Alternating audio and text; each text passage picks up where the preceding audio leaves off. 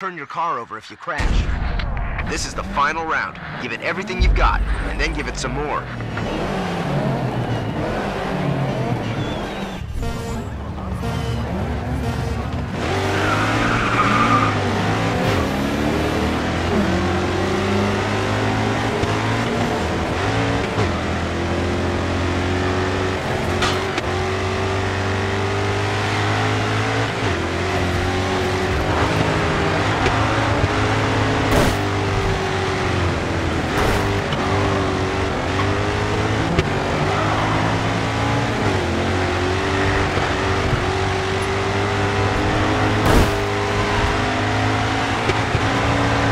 You're in third.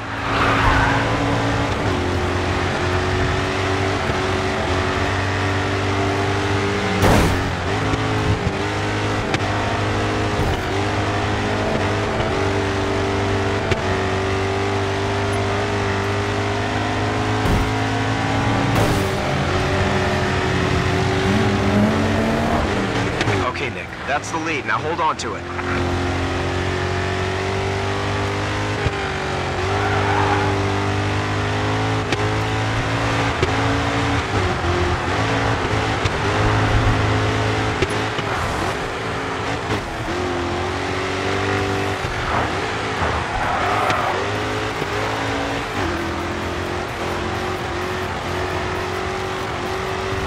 Seconds trailing you. Maintain your lead.